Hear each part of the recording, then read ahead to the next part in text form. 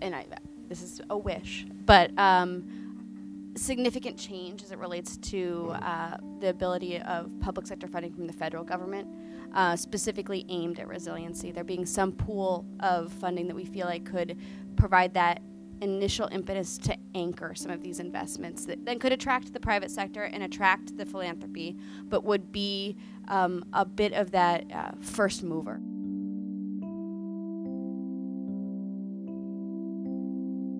I want to thank Boston Harbor Now for just convening this uh, really important conversation we've been having, uh, uh, and for asking me to be involved in this last panel here. I was lucky enough to hear the two panels before us, and uh, I've said to my panelists, this is going to be a completely different panel than what you thought it was going to be based on what happened in the first two panels. No, uh, to be serious, the uh, you know, the idea was that the first panel would be about climate resilience, sort of about the how, uh, or about the what, really, on climate resilience. And the second panel would be about open space, sort of about the what. And we, the wrap up panel, would be about the how. Uh, there was a lot of talk about the how in the first two panels. It's sort of what struck me just listening in to that was there's kind of an emerging consensus about the what. And maybe not entirely, and we're going to explore this a little bit with the panel, but the really rich conversation is about the how. Uh, and we, a lot of good questions raised in the first two panels. Um, our panelists, who I'm uh, going to tell you just a little bit more about than what's on the screen, are going to try to get a little bit beneath the surface of the how, uh, how to actually align parties and resources to make a great harbor for all, uh, which is which is what we're all here for. So, um, Sarah, you all know Sarah Myerson, uh, the chief planner for the city of Boston, has been involved in a number of planning initiatives, Imagine Boston 2030 and Boston 2024. Also, you may not know, has a, a finance background before going to planning school and becoming a planner, which maybe will be relevant to some of the conversations we're going to have here today.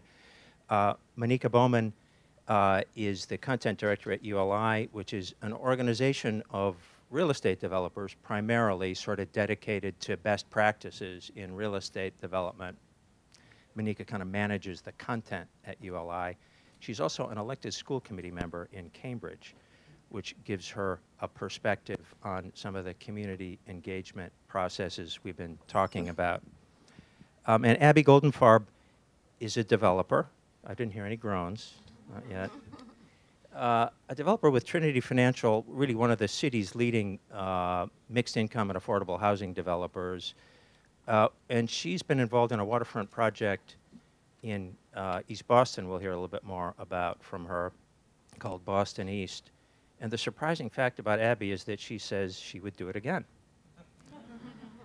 Maybe do another waterfront project, and we'll talk a little bit about, uh, about that. So let me start by kind of asking you each uh, just a little bit of a framing question about your perspective, uh, and we'll just do it in the same order here. Uh, Sarah, you just finished the Imagine Boston plan. Um, we all know Boston. Boston is having a moment. Our city is having a sort of a transformative moment. Uh, it's been doing some planning now. Uh, how big, how important was waterfront planning and the harbor to that planning effort? Um, well, I, it feels like we finished Boston or Imagine Boston 2030 a while ago now, but I guess it was relatively recently, uh, within the past year. But you know, waterfront was a key component of Imagine Boston 2030 and all of the planning that the city is doing right now, and I think it continues to be apparent in the overarching framework plans, Imagine Boston 2030, climate ready planning, as well as the more uh, discrete planning that we're doing now, uh, specifically focused on certain areas and, and, district scale planning that's really diving in.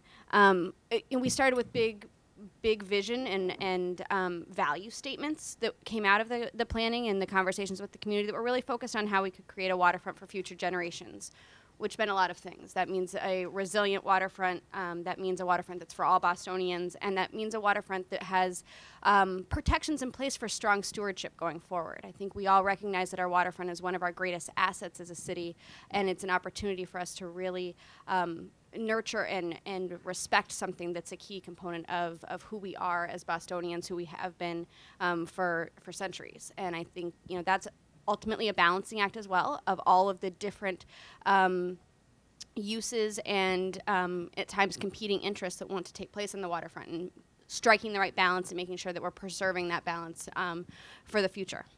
So let me ask you a follow-up question. So were you, was how broadly engaged? You did a lot of outreach for Imagine Boston 2030, right? You had uh, uh, an extensive outreach strategy, including some non-traditional methods of, of outreach.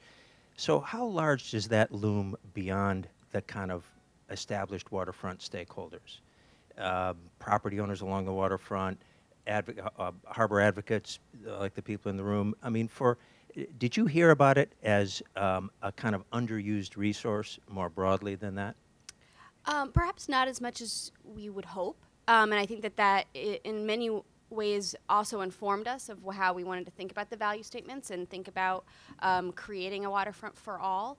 Uh, many of the stakeholders that you would expect, the, the nonprofit community, the, the advocates around the harbor, uh, were very vocal throughout the process, as well as those who are property owners and those who are in communities that directly abut the water. But there are many uh, uh, folks in Boston who don't necessarily view themselves as living in a waterfront city, and that that alone was one of the key um, driving forces uh, that helped frame the whole um, featuring of the harbor in the planning process. We wanted to make sure that children who were growing up in Mattapan or in West Wa- Roxbury viewed themselves as being part of a waterfront city in the same way that um, someone growing up in East Boston or the North End may view themselves as a waterfront city. Yeah. So, uh, Monika, over to you. Uh, ULI, the Urban Land Institute's been pretty active uh, on climate resilience in particular, waterfront development as well. So, what's driving that? Are your members driving that? Does that come? Is that top down or bottom up, or what's what's causing that increased emphasis? Would you say? And I'm going to ask you a follow up question, or I'll just ask it right now about how successful you think that's been uh, in in uh, sort of uh, enriching the conversation. Absolutely. You know, it's interesting. So, for those of you that may not know a lot about the Urban Land Institute, we are a global nonprofit that focuses on the responsible use of land and the development of that land. And most of our members are from the private sector. Um, we have a lot of engineers, architects, planners, finance, insurance. So, anyone that touches land use, they're members of our organization. And we and I see a couple of our members here today. Um, I think sometimes what's really interesting for me is that whenever we have these conversations, they happen in silos, and the assumption is is that the private sector um, isn't invested. Um, maybe doesn't care as much um, in some of these issues. And I think the good thing about the Urban Land Institute is a respected and trusted organization where the private sector comes together to have these conversations. So we are member driven, and I work in partnership with our members to bring forth what they think is important as it relates to the urban environment.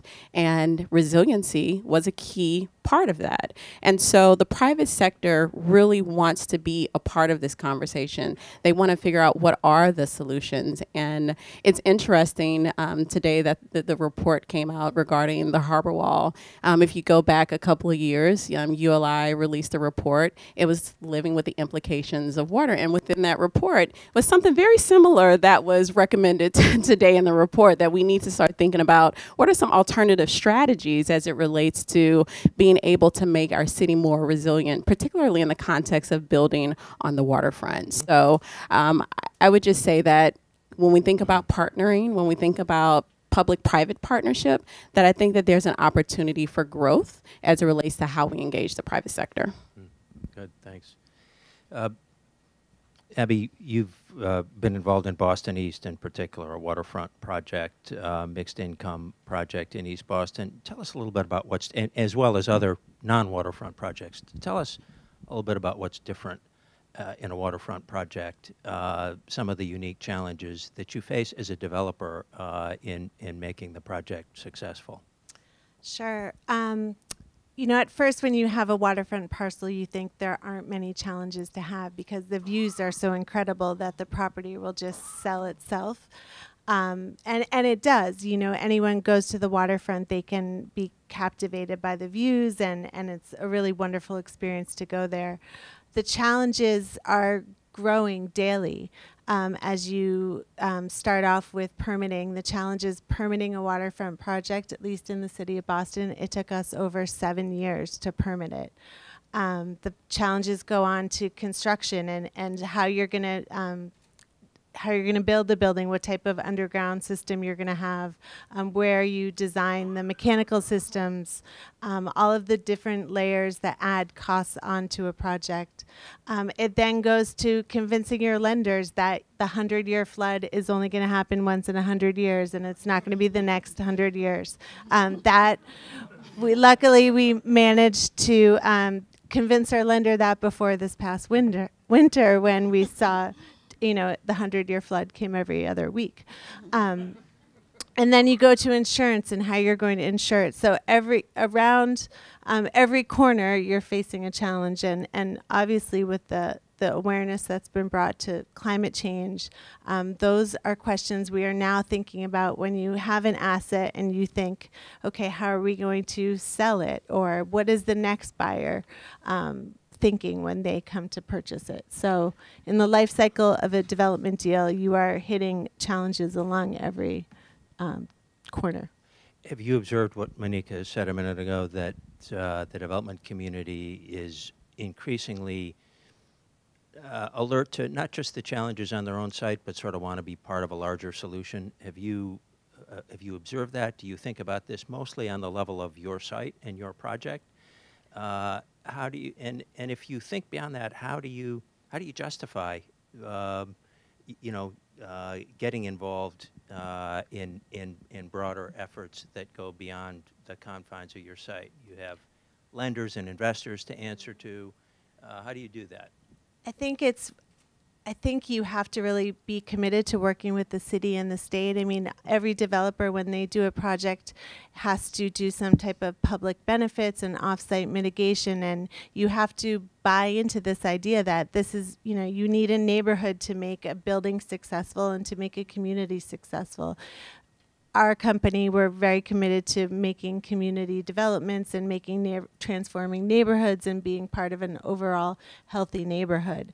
Um, but you know, at the end of the day, you know what's driving a lot of these deals are financial performance and and while you can do a lot of public benefits which we've done in all of our projects you they can only go so far i mean you have to take it you have to keep the finances in mind right. and it gets right. difficult so let me ask each of you uh, you know, my premise at the opening here was that we sort of have an emerging consensus about the what. I want to test that with each of you. And you know, we clearly don't uh, yet about a harbor barrier from the report we heard today. It looks like there really isn't a consensus about the outer harbor barrier, at least. But um, certainly with climate resilience, the more district level protections, we kind of know we need to do them. Uh, um, creating more waterfront open space and ways for that open space to be a resource not just for people nearby, but for the whole city. We know we need to do that.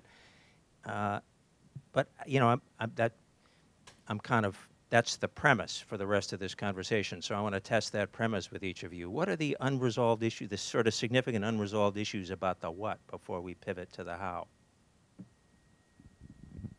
I mean, I think for from the city's perspective, the the big components of the what are things that we feel like Imagine Boston and the and the process that we went through around value statements.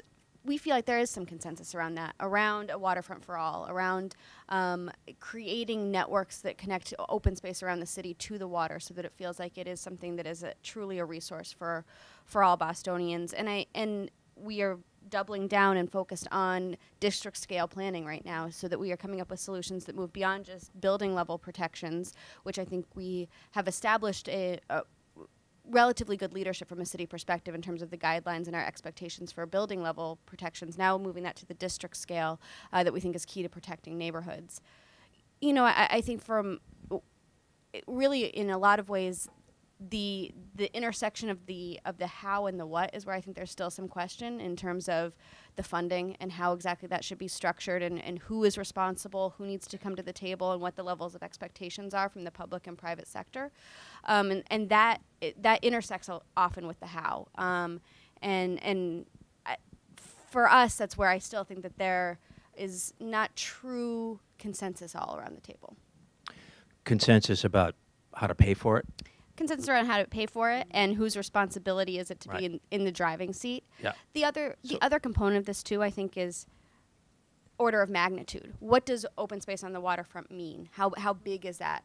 And and what what does it mean to have a um, to have the uh, intersection of the built environment and that open space on the waterfront and, and what's the right balance between the two? And i think that that's still you know those are order of magnitude on the margin areas where we can still have that conversation and where there may not be consensus and there may be differing perspectives from the advocacy community the public sector and the private sector. And how about, can you do both uh, climate resilience and open space? Is there, are, you know, talking about how to pay for it, can we, I don't mean physically can you accommodate both, but can you do both? Can you marshal the political, re, the political will and the resources? This is really a question for all of you. Is it realistic to think you can do both? I'm I'm an optimistic, so I say yes. and I say yes, but I think that We'd maybe have to end the panel if you said no. I think we'd all have to go home. So, I, think we need to possibly reframe it. I and I and I get this because I live in this, you know, I live across the river, and sometimes we don't think about, you know, the city of Boston in the context of all the people that maybe come in and out of it, and it, it goes back to the what and who will then be accessing it. And, and what does it mean to be able to galvanize not just the city of Boston, but all the individuals that interact with that land in some shape, form, or fashion to be invested in it. And so, if we start thinking about it from that perspective, maybe the burden is not necessarily just on municipal resources. Maybe we need to think about, you know, what would it look like? You know, regional governance is not a big thing here, but, you know, wh- what would it look like for us to explore, you know, how do we interact with other municipalities that then benefit from this space or the state? And God forbid if I say anything about the federal level, because not too much progress is there in the current um, in the current administration. But as we think ahead, because we're not going to solve these issues in the next two or three years, but how do we think ahead as it relates to how do we finance a vision that we want to have, not just specifically for residents of Boston or even just people that live in the seaport or the Back Bay area. We're talking about how can someone in Yeah. Roxbury feel attached to the water uh, as much as someone that sees it every day. I live in Cambridge and honestly I forget sometimes. I'm like, "Oh, I do live on, you know, a coastline" because it just it's it's not something that I think about. But how do you change that? How do you make sure that people see that this is something that I can be um, invested in as well? and of course, those two are related, marshaling the resources, right? I mean, uh, is David Levy still here? Uh, uh, David was here earlier, did a report, uh, UMass Boston uh, report on financing climate resilience that lists a number of possible financing sources for climate resilience, really just climate resilience, not open space. And you know, one fundamental question he raises that the report raises is how broadly do you spread that cost?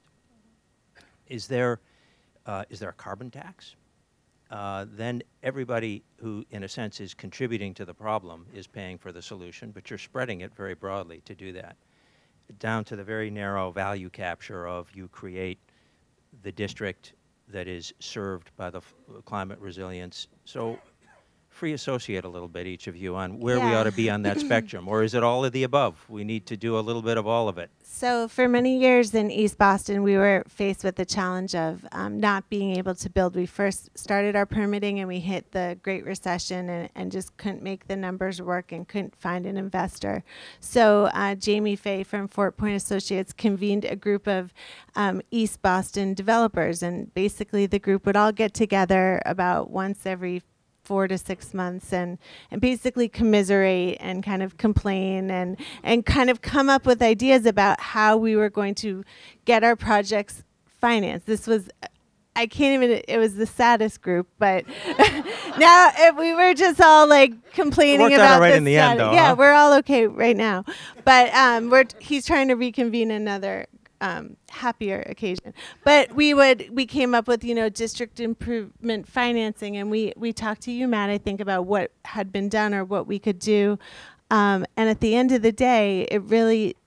You know, luckily, a lot of us benefited from the city and the state working together to help find ways to provide some uh, source of financing and some relief for all of these public improvements. I mean, if you go to the middle, you know, a greenfield in a suburban location, you may not be hit with having to raise your um, you know your ground level four feet having to build a harbor walk there are all of these additional costs that precluded the development from happening because we had to do them where it was great that we did them in the end but we the public private partnership was critical to making that successful So others have, uh, earlier panel mentioned, you know, the harbor cleanup. Part of why we can have this conversation now about the harbor as a recreational resource is that we invested, is it $4 billion, $4.5 billion?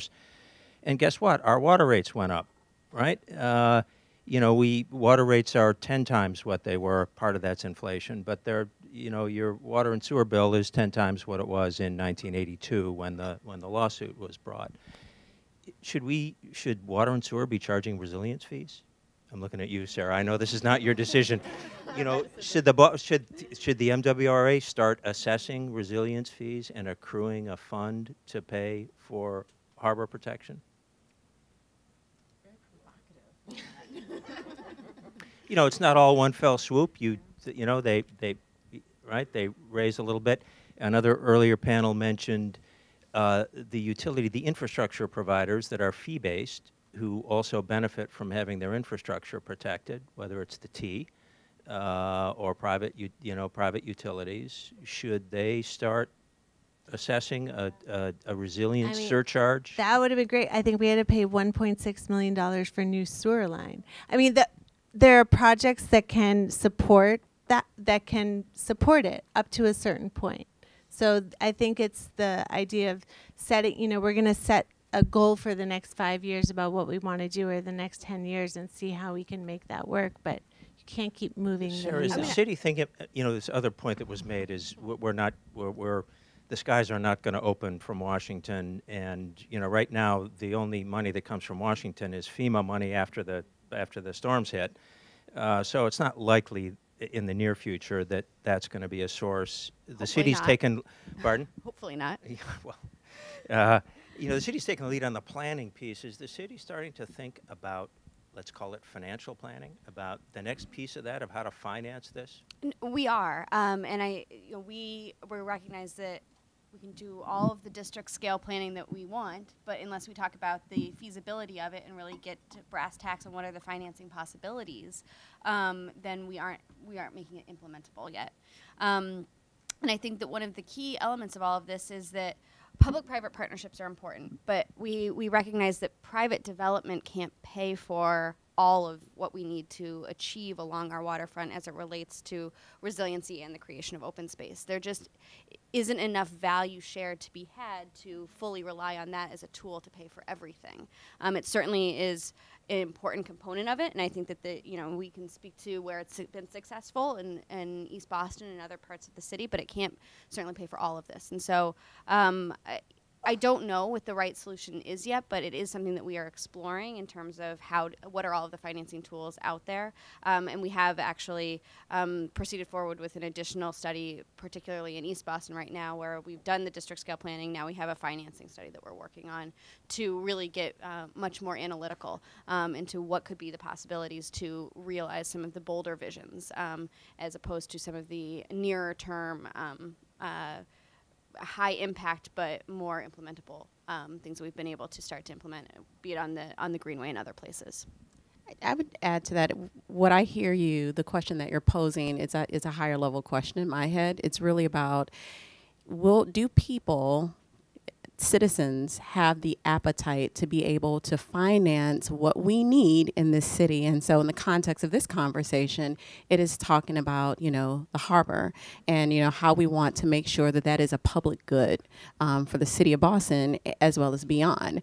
And so you know how do you have a conversation with um, you know i'll put my political hat on here uh, you know as an elected official. You know it's a very dicey conversation to have. Like i want to raise your rates um, on x y and z. But i think is really paramount, particularly in the context of the environment that we find ourselves in. We need to figure out how to finance things. And so, how do you have a responsible conversation with the citizenry of a community to say, this is what we need. Let's have a conversation together to figure out how do we achieve a shared goal. And I think that's missing in the public sphere right now um, because we're just eh, there's a lot of things impacting how we have conversations in the public sphere. I'll just leave it that way.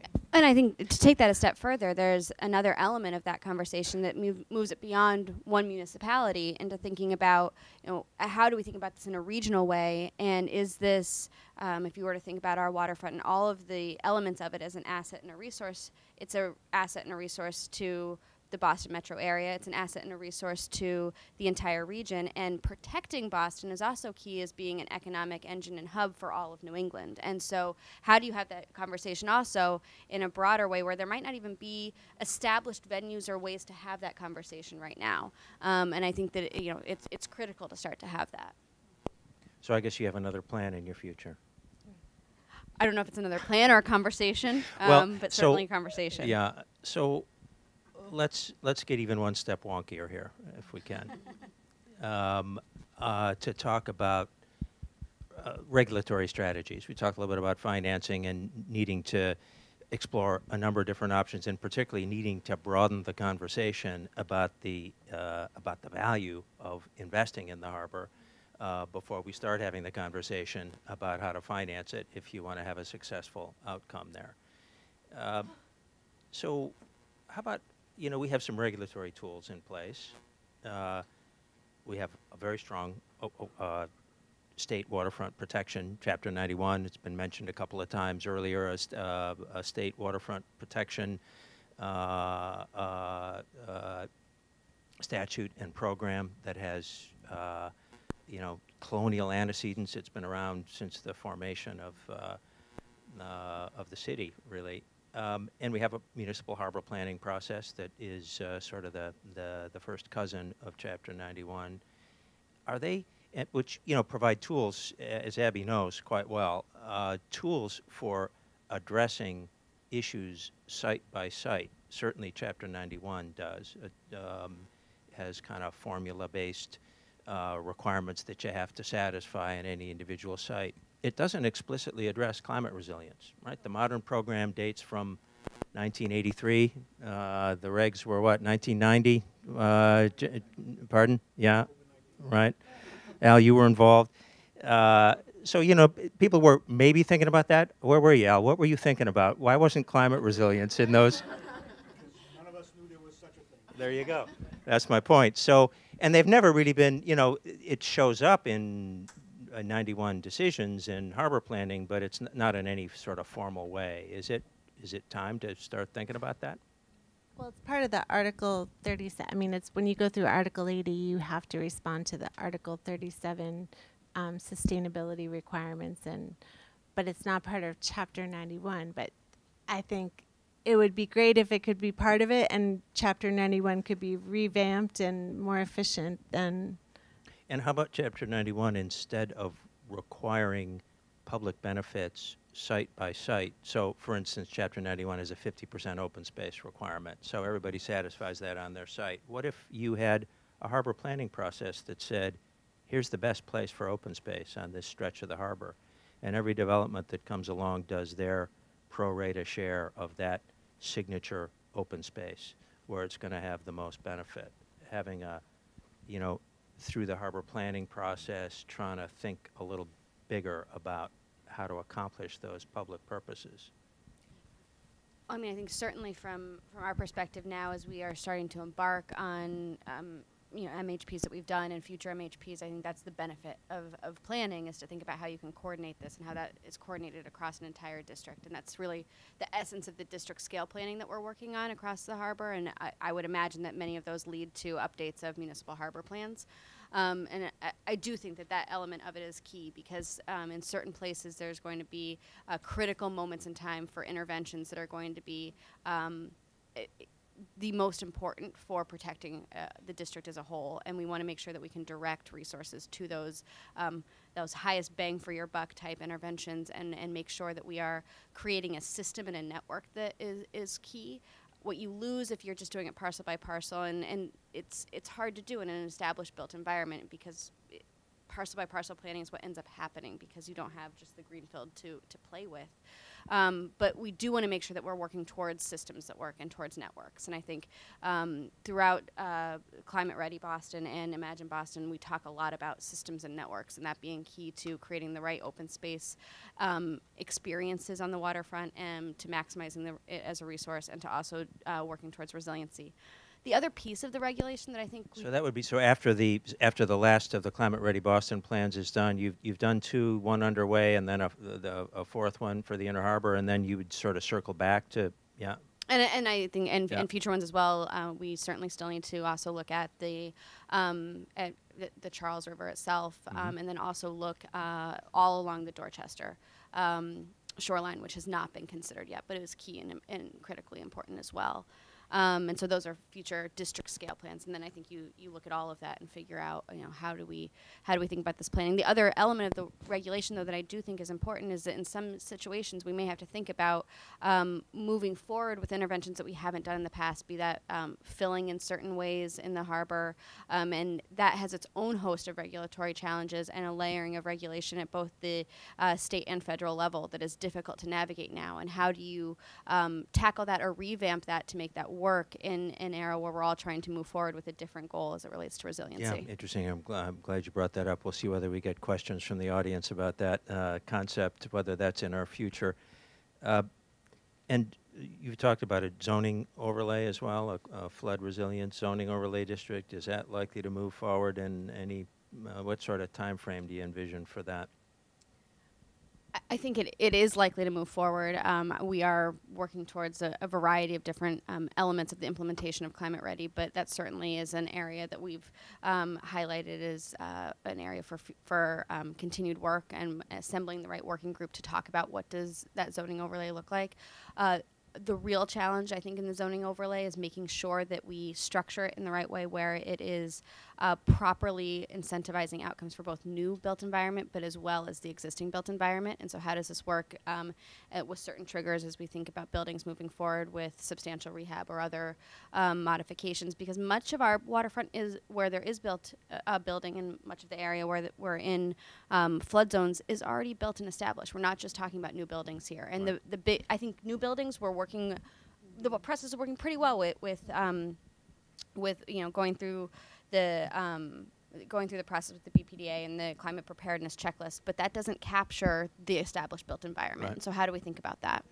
I, th- one other layer that I would add to this conversation when we think about Chapter 91 and you think about, you know, what has been developed on the waterfront, um, how do you think about policies in the context of the multiple demands and influences and pressures that's taken place on a city. And so you think back, you know, a couple of years, nobody was thinking about climate resiliency as an issue that you needed to solve for. But how do you have a conversation knowing that we have a serious housing affordability crisis taking place right now?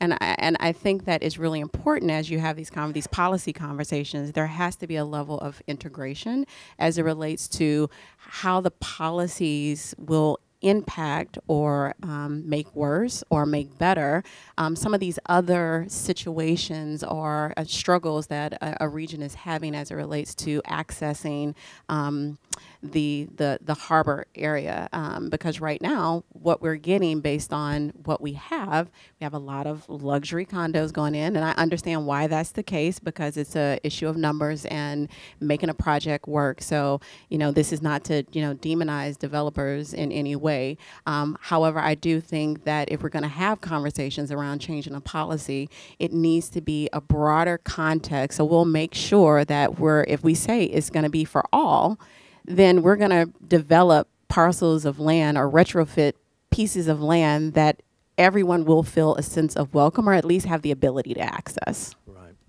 So, what do you think the development community is looking for in order to be a constructive participant in this conversation? Uh, right. This is, you know, we've so two facts that kind of go in up, eh, or two observations you both made that go in slightly different directions. You know, the first is, um, uh, uh, you know, you, uh, we, in a way, rely on private development to a large degree to produce these public benefits. It's certainly part of the equation. Uh, it's true in Chapter 91, and it's true generally that we rely on private initiative, let's say, broadly speaking, uh, for public benefits in other realms in addition to improving the waterfront. Uh, so, in a way, everybody is invested in development feasibility because everybody benefits from it. Um, on the other hand, if you load too much of a burden onto it, you sort of stop the train, uh, or at least slow it down. Uh, so would, dev- uh, and yet, and I think you you've all said that you share the sense, which by the way I do too, from uh, from you know my work with developers that. Developers want to be constructive participants in the conversation. It's maybe enlightened self-interest. It's that they, it may not necessarily be pure civic virtue, but it doesn't matter really. Uh, they want to be part of the solution uh, if they can see that there's a solution they can be be part of. So, what do developers want to see happening in order for them to kind of step up to do more than they're doing site by site? I think um, for developers of sites that they are they own or that are you know vacant, you know open space, um, having a finite set of principles and things that they can work towards is important, and not having the conversation. The longer we were involved in a Chapter 91 permit, the more public benefits got laid onto it, which it was a vicious cycle of more public benefits and then it was the numbers kept not working and we needed some state and city support um, so a finite set of kind of this is what you're going to add to your project and this is what you're going to have to do and when you're done committing to this you'll get your permits and you can go forward and build it. I think there are a lot of sites right now on the east boston waterfront for example that are that are burdened by um, antiquated potential you know zoning and um, that may respond better if there was a carrot out there of you know we could give you some relief on the zoning if you were to create these public benefits so a give and take i think is important to have um, in any conversation and and that's important What? Ask one last question in this in this um, sort of theme, and that's about the role of philanthropy. We've heard in previous panels that um, there is philanthropic interest uh, in the waterfront, certainly, uh, uh, particularly from the Barr Foundation, uh, has been uh, made it a major focus of their giving. Um, fundraising in general for the benefit of the harbor as a resource for all is, or, or philanthropy is an increasing source of funding, a kind of third source of funding. Does that, does philanthropy coming to the table, um, how do each of you view that from the perspective of, does it make it easier for the city to make the case for spending resources when philanthropy stepping up? Does it make it easier to make the case to developers that they should be doing it when uh, philanthropy is part of this conversation? I mean, I think there there's three legs of the stool as it relates to there being public funding, the philanthropy, and the and the private sector funding, and all of those coming to the table at once is key. Um, I think that the philanthropy can be very powerful in um, in anchoring investment in one area and then attracting um, the public sector funding that might might feel like we don't have enough to complete it, but when we are able to combine that with philanthropy, we get that much closer, and then then the conversations with the private sector as well, where you're able to piece that together, club that um, across a range of private players, be them um, tenants or property owners along the waterfront, who can um, also come together and feel like maybe individually they wouldn't be able to um, make some of these you know larger price tag item items come to fruition, but when you combine it is is the key, and I think all of those players are more likely to come to the table if they feel like they're going to actually see implementation. Right, that they're all part of a larger plan. yeah. Exactly. I see philanthropy as um, the neutralizer in the conversation um, because I get the the negotiation that takes place between um, you know the developer um, and the city, and the reality is sometimes you have to push on the development community in order to get you know, what you need on the other side of the river. You know, we increase um, different contexts, but we increase our affordable housing requirement, and people are like, "Oh, we're not going to develop there." There's still plenty of development taking place in the city of Cambridge.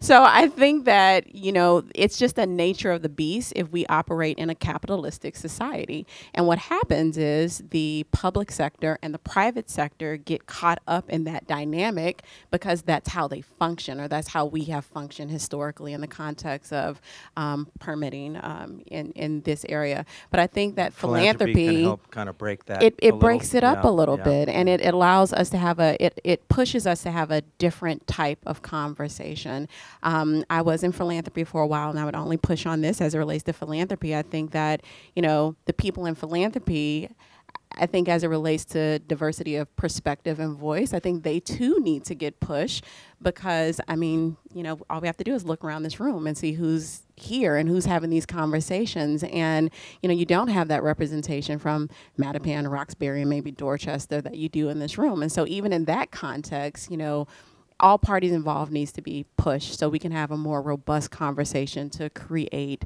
um, these community benefits that truly will benefit all. So uh, I want to leave some time for audience questions. We could we could we could s- explore this further. Um, uh, this has been a really good conversation. I just one last question for each of you. Um, make a wish.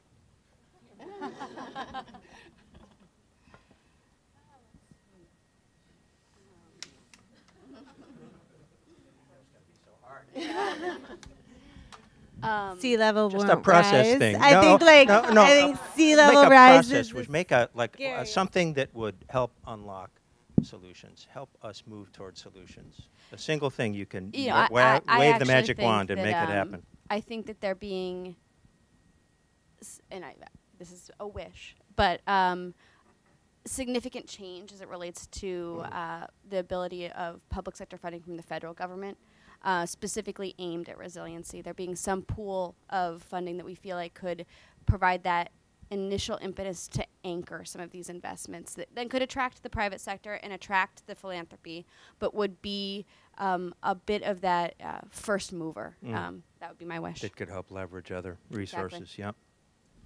So I have the privilege of being in multiple contexts and multiple spaces. And sometimes when I'm in the context of the private sector, they forget that or don't know that I'm also an elected official. And sometimes I hear things, I'm like, ouch, I think I'm offended by that. and sometimes when I'm in the context of some of my um, public sector um, colleagues, you know, I hear things that I'm like, hmm, that may not go over very well in, you know, a private sector context. And so it's given me um, really good insight as it relates to some of the things that needs to change in order for us to truly be able to move meaningful conversations forward.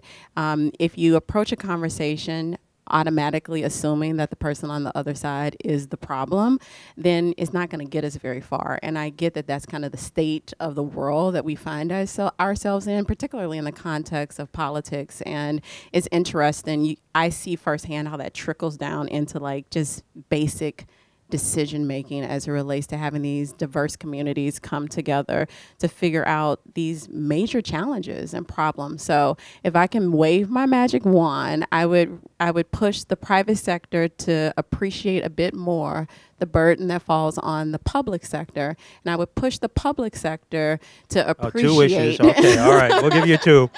appreciate the demands and the push that's um, happening on the private side. I'm I'm still trying to think of my wish. So I I don't know. I think really the story of East Boston is a model of how I mean you have a community there that has a lot of diversity. You have a lot of socioeconomic diversity. I think it's been a great model for other communities. Um, and I think I, I wish there was more communities where there are opportunities to do projects that engage the public and private sectors. Thanks, Abby. Okay, so questions from the audience. Uh, Is anyone still awake? Well, at least one person's nodding. Good, good.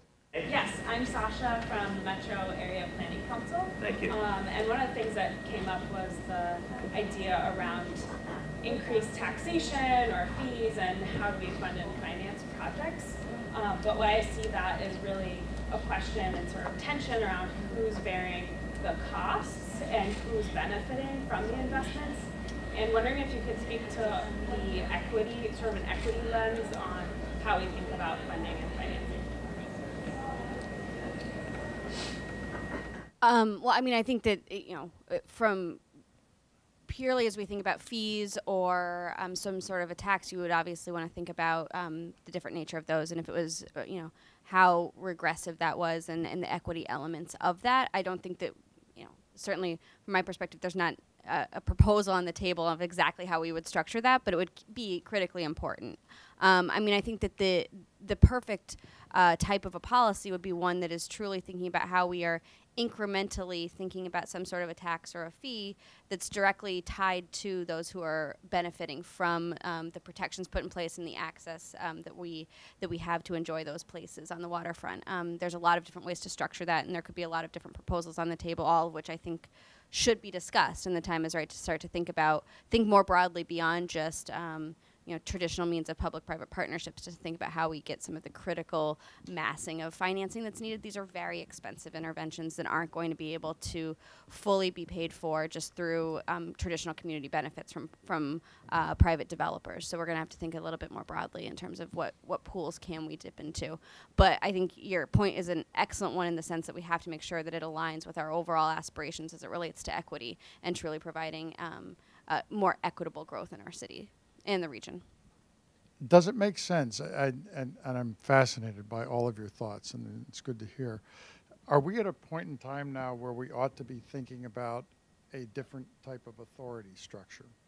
Which may, instead of being the Boston Authority, it may be the Massport Authority structure, which would cause the cities and towns which are engaged by the ocean in planning for everything from sea level rise to all of the new type of shipping that's going to be going on and all the new type of wind power that's uh, going to be happening at a, at a minimum. Does it make sense to enjoin in this type of authority and, and really start to look at a more regional approach uh, to planning and the sharing of the economic burden as well as the, the benefit? Uh, by the way, this idea has been on people's minds since at least the 70s when I started. And, and oh, by the way, with merit, I think. Yeah, I thanks, think Bob. it's a great idea. My only concern is that it adds yet another layer because I can't see the city getting, you know, doing away with its um, own requirements and its own protections, nor can I see the state. I mean, maybe if the state came up with. yeah, maybe. I mean, I just think Could there's an con- urgency to this effort that needs to happen, and, and I'm afraid that people may not that creation of that may not uh, respect the urgency. It may delay the process. I'm gonna say yes, yes, yes, yes, and yes. Um, I've I've lived in other You want to think about that? no, yes, yes, yes. I've lived in other places where there is regional collaboration. I mean, this is I. It's interesting. I I I. I feel like it's a privilege to live in the Northeast. You know, I love living, particularly in the city of Cambridge. You twirl around twice. There's like five PhDs you're gonna knock into, and and I appreciate that that thought leadership that's all around us. But I also think that sometimes that gets in our own way, and there are other places that we can l- look to to figure out how to figure out, you know, a, how do you find solutions from a regional perspective? But I know the way our government is set up, it's every city and town, and I think that we can push ourselves a little bit more to think outside that how we normally function I mean, to others something have done bigger. So, are there circumstances under which a, a regional, you know, another layer of government, if you want to think of it that way, are there conditions under which that could work and not engender the reaction that Abby had? In other words, is it not a yes or no question, but a how would you actually make that work question? I mean, I think that the key element, um, and, and to get to Abby's point, is is there a way that this is structured so that it actually streamlines and simplifies the Right. process, where already it's so layered with so many different um, regulatory bodies that are thinking about the waterfront? It could this actually be a tool to streamline that and to um, move Right. forward? Given the sense of urgency, is there a way to think about this? And I think that really is then structuring so that there's very specific focus on the mission of this authority what is the mission, what is it trying to achieve, and how are we streamlining that, um, and what is the governance of that authority. Um, and uh, you know, I think that those are two critical elements um, that would that would be key to. the You have to make sure add- that I just the wanna first word of the legislation is notwithstanding.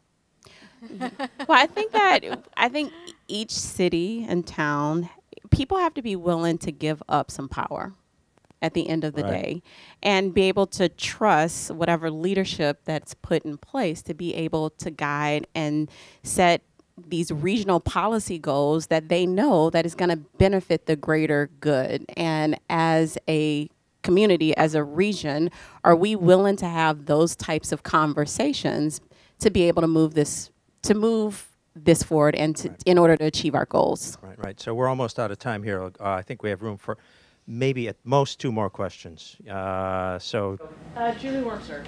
Um, I want to ask uh, what Bob and Danica said.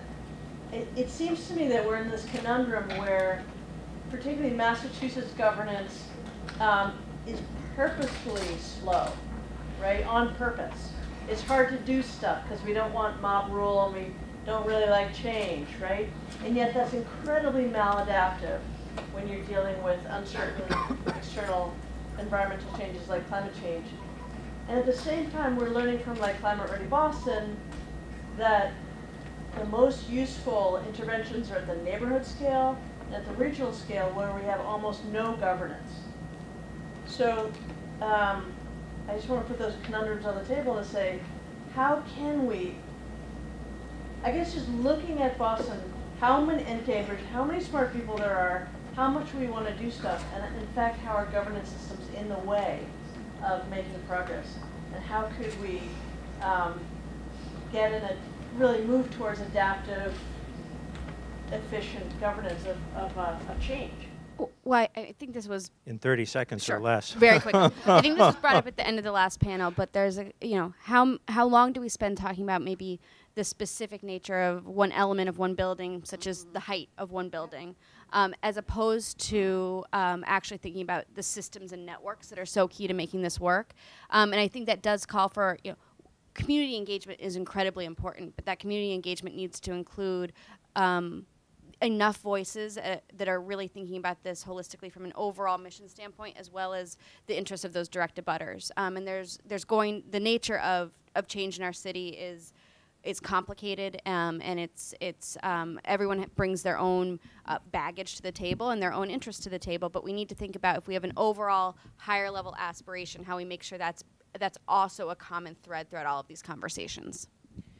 um, at one point, and I'm looking at Rob out there from Fort Point Associates, the city or the state was, I think, experimenting with this super MEPA process. Does anyone remember super MEPA? So the MEPA process allows you to go through the state permitting. Um, you know, you go through all the different departments, but Super MEPA was going to let you go really quickly, but get everyone, you know, have a lot of meetings and get everyone involved. And it kind of, I don't know where it ever went. We went through it once and never saw it again. But it was an oppor- it was an opportunity Yeah. to maybe create start a down process, in that direction. say it's going to be efficient, yeah, and, and include uh, all these. Right, with the timekeeper's permission, I just wanted. So one one thing that strikes me here in this conversation is you, you said the word state. Why isn't the Commonwealth of Massachusetts the logical entity to be doing this? Uh, I, I understand that if you live in Becket, maybe you don't think uh, the resilience of Boston Harbor is very important, but the reality is, what is it? Uh, 35% of the population and 45% of the economic activity of the entire Commonwealth is, you know, uh, within a five-mile radius of where we're sitting right now. Uh, is there a case to be made that the Commonwealth ought to be doing this? That the that that uh, the the uh, you know the, the the stakes are high enough that we already have a level of government uh, that could be uh, active here or more active here. Maybe that's not. Maybe that's a rhetorical question. So one last uh, time for one last question, Alice. Forgive me. I know we're out of time, but I, I promised two more questions. So Uh, my name is Joel. I in Dorchester. Um, I had a question. I guess this is um, sort of like who is managing change on the waterfront. Um, so, and I, I want to frame this. So, in one sense, Boston has sort of a, and I'm using Boston because I live here. Um, Boston sort of has this renaissance of planning where the, the current administration has ushered in a lot of, of sort of macro and then uh, separate subject area plans that are coming together. Um, so there's a lot of there's a lot of input being generated. Um, I'm also thinking about the panel there, which is um, pri- private sector and sort of quasi-public. So my question, I guess, is sort of what level, what level of, of wh- where's the difference between sort of getting community input and and um, having public control or control by the community about the actual change that's being managed, right? So you could have private sector being enroll, enlisted sort of as a funder and appreciating some benefit from that. You could have um, people in a neighborhood um, saying what they want, people in br- broad in the neighborhood, maybe the whole city saying what they want of the harbor, and then you may have a another kind of agency like the the um, BPDA or BRA that operates a little bit in uh, in between space, I think. Um, so, the question is who's managing the change, and where do you where do you sort of draw a line between the um, generating ideas from a public planning process versus Who's responsible for collecting all those ideas and then moving forward with a Yeah, plan? And does the community just give ideas once, or is it sort of some of the power is actually given there to un- unrolling the plan? Uh, I mean, I think from from our perspective, um, all the planning that we're doing, we view as being done in partnership with the community, and it being an iterative process where there's multiple times and, and points in time for that conversation with the community. The highest level being Imagine Boston 2030, where it was really about broader value statements, and then going to the more district level uh, scale planning, which we're doing in collaboration with other city departments, truly public agencies, as well as in partnership with the community at the district, and then moving into the more specific parcel by parcel through Article 80 and through uh, the Chapter 91 process, which would then those also layer on additional moments in time and, and opportunities for that uh, partnership and engagement with the community. So, uh, you know, I think that the um, that management of change is a um, is a, an ongoing dialogue that is going to go happen over um, a long period of time as you move forward from that broad level planning to a more specific concrete project sometimes faster than others. But um, where you have where you're iteratively having those conversations with the community where it's a, it's a public sector uh, conversation and private sector is coming in uh, coming to the table at various points in time and also a critical stakeholder. Um, you know it, from our perspective at the at the city level, I think that we feel um, that you know the robust community dialogue at all portions of that planning process, and then moving towards an actual entitlements of projects or actual implementation of an intervention um, is is you know is, is key in making sure we have that partnership ongoing throughout the moments in time. I don't know if it, you know from a private sector perspective or nonprofit, you guys have other elements of that. I, I think when you start talking about community, um, I'm gonna go back to my elected official hat. I'm always I'm always um, cautious when I use that that term because a lot of times when we think about community, it's the people that show up at a meeting, quite frankly, and they shape the conversation. And you know, going back to this earlier conversation around a regional, you know, whether or not the answer is a regional, you know, type of system g- governance to, to help with some of this. Um, you know, the complaints about heights and density and things of that nature, there's huge swaths of a community that can care less about that stuff. However, when we come together, those are the conversations that we're having. And I do not think that that's reflective of the community. Um, we had a panel recently through ULI um, where there was a local ED that worked with her community in conversation with um, Mass and Main Project, and the people that she worked with, they didn't care about that stuff. And so I think as it relates to how we structure community feedback in the context of a waterfront or development in general, some type of way cities um, and people that are professionals like ourselves just have to be very intentional around how do we define the term community to make sure we're getting a broad perspective on what will shape a project moving forward. And I do think that there are opportunities for um, specific agencies, whether that's the state or regionally, to figure out to go deeper into some of these challenges.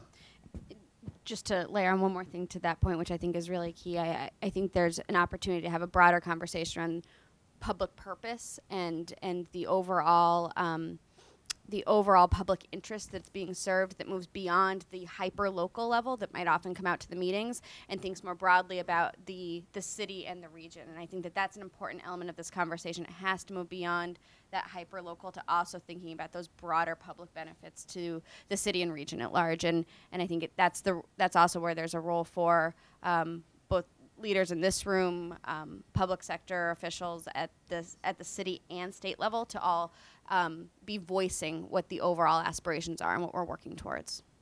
Great. Thanks, thank you to our panel for a rich conversation.